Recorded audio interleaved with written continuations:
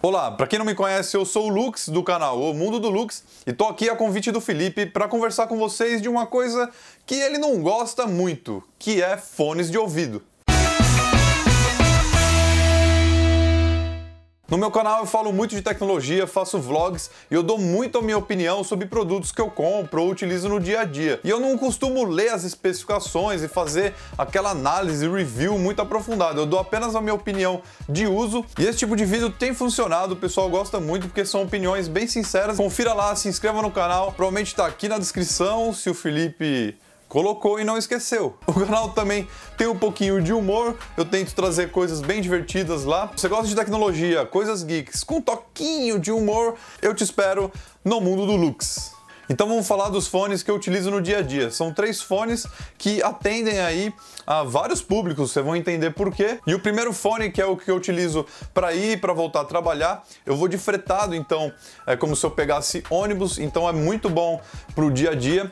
É, esse Marshall, ele não é tão grande assim, mas ele consegue nesse espaço isolar muito o som externo, então excede as suas expectativas. Você olha para ele, apesar dele ser muito, muito bonito, você não acredita que ele deva funcionar tão bem assim. Ele tem um equilíbrio de som, ele não é tão grave e não é tão agudo.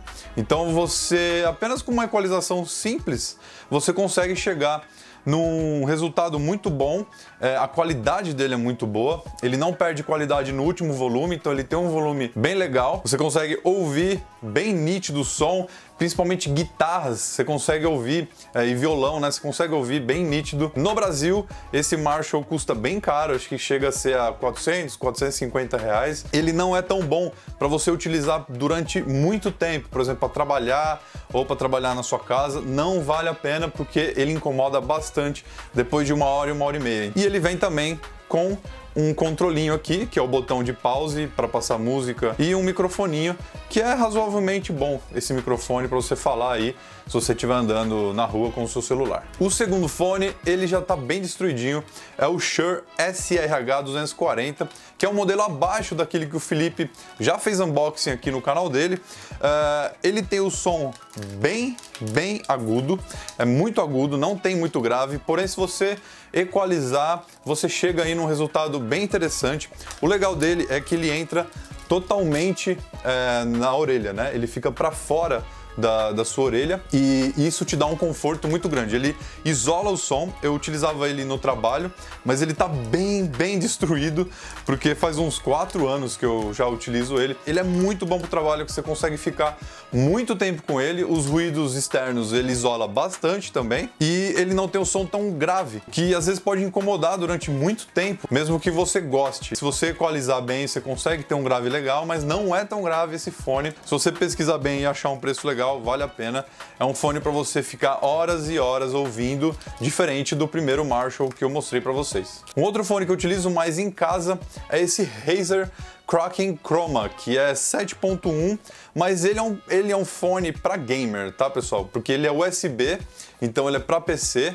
E ele é extremamente confortável, extremamente. Essas almofadas, olha a grossura dessas almofadas.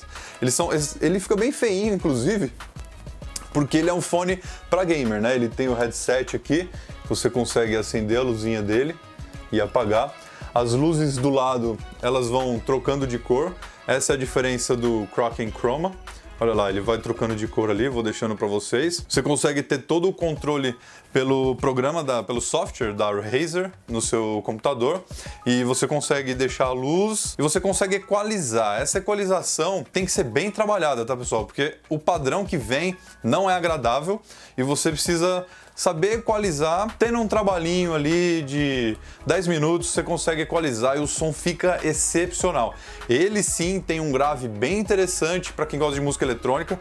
Eu gosto de música eletrônica, então ele é um fone que eu utilizo para trabalhar em casa, então às vezes eu trabalho à noite, a qualidade não perde do áudio dele, mas ele é USB porque é um fone para gamer. Então se você é gamer e quer investir num fone, esse fone da Razer é espetacular. Se ele fosse um fone com plug normal, com certeza eu utilizaria ele no trabalho também, porque apesar dele ser redondinho aqui, ele cabe bem na orelha e não, não tem desconforto nenhum né? Porque gamer fica horas, horas, horas e horas. E é isso, pessoal. Muito obrigado ao Felipe pelo espaço aqui para divulgar o meu canal. Se você ficou interessado em conhecer meu canal, clique no link na descrição e seja muito bem-vindo. Eu sou o Lux e até mais.